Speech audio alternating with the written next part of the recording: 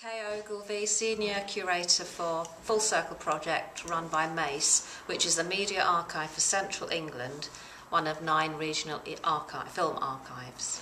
Okay, can you just tell me a little brief overview of what MACE does? MACE is one of nine regional archives, and we're responsible for connecting people with their cultural screen heritage. Uh, we preserve films and moving images, and we hope to share them with the local communities. Great. Um, I just wanted to ask you, what kind of people uh, donate to the archive? Everybody and anybody. We have professional and amateur filmmakers, like some of the films we've seen today, people who got really interested in buying up, buying up cameras and making their own films. Plus we have the whole collection of ATV and ITV Central and we have some of the big programs made at the time. England there England. And we have lots of um, programs made commissioned by local industries to showcase their work. Like the nylon, nylon stockings film from Ilkeston. It was a, a local industry Booth and Sons and they wanted to make a film about their factory. And so they um, filmed the workers making nylon stockings. Fantastic. Um, Uh, I know you, you mentioned to us at the event today that film goes back 100 years, but do you collect more recent film for the archive? We do. In our archive, we have film dating back to 19, 1897 to 2012. So today's film is tomorrow's heritage. We are interested in film now as well. Fantastic. How can people get involved further with Mace? Other than get, donating? Yeah, they can get involved in many different ways. Um, if they're on the internet, they can look at our online catalogue and they'll see that we have over 40,000 titles on there, most of them catalogued, given a shot list of what's on the film, given the filmmaker, the date and the location. If they want to take it a little bit further, they can select the films that have a little film clip with them and they can watch the film clip or we can arrange special visits to our archive for researchers or people who want to see a particular film that hasn't been digitised. We're based at the University of Lincoln and people would need to make an appointment to do that, but that's perfectly possible. Or they can come along to one of these community film screenings that we're advertising on our website, the ones that are having a special musical score put together with silent home movie footage, which is touring in 12 venues, and you can find out details of where by looking on the macearchive.org website.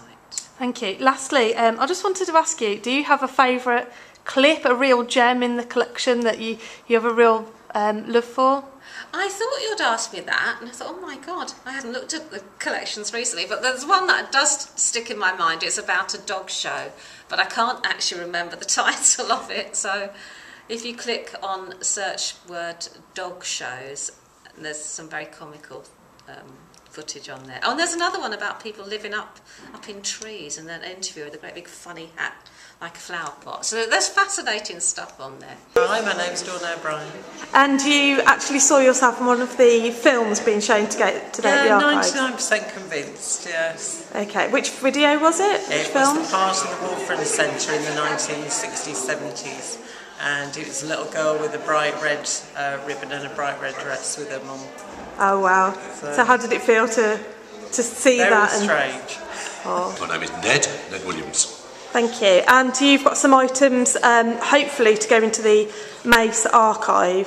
Yes, I have three cassettes here of early tape, quarter-inch tape, and that was what was used in the early video cameras. Uh, about 2000, and it was a Millennium project. I decided to start keeping a kind of um, video diary. So I started in the year 2000 for the Millennium. But even this very quickly went out of date as a medium, and there's no way of playing it back now. So I'm interested in perhaps getting it converted to DVD and seeing whether the tapes themselves ought to be preserved by somebody like the archive. It's about local carnivals, local fairs, some local transport scenes. I'm not even quite sure what is on it because I can't view it at the moment. That's why I would like to get it on DVD and I'd like to find a safe home for it. Fantastic. Can you just tell me a little bit about your interest in local history in Wolverhampton? Right, I am a local historian and author and filmmaker, so I've always been making films, lot of 8mm films and so on. Again, I think they will have to go in the archive sometime. Uh, and I have collected films as well, so films and local history, that's two treats for me in one. It's Patricia Davis. I have a, a great interest in the history of Wolverhampton. Um, I'm doing research as I used to work. I've just finished working for 48 years at Wulfrun College, which is now City of Wolverhampton College, merged with Bilston College. And I have an archive which I've been looking after and building up on for the college, which includes films. Uh, we have 16 mil, We have video, we have little ones and all sorts. And we're looking, I was trying to ascertain uh, for the college who owns them, and the college, I think, does own them. So um, we hope, I'm hoping they will let them go to Mace to be copied and looked after. Fantastic. How are you hoping to use them in the future? Uh, hopefully, we will be able to get um, videos, uh, we'll be able to get CDs or DVDs to make a proper college archive, working with people at the Bilston campus who are do, trying to do that with stuff left from Bilston, when it, the Bilston Community College, when it was actually merged. Um, and hopefully we'll be able to get it somehow so it'll be free for people in Wolverhampton, but particularly the college, to have in the library there, Learning Resource Centre, sorry, there um, as a, an aid to what Wolverhampton, education Wolverhampton was all about.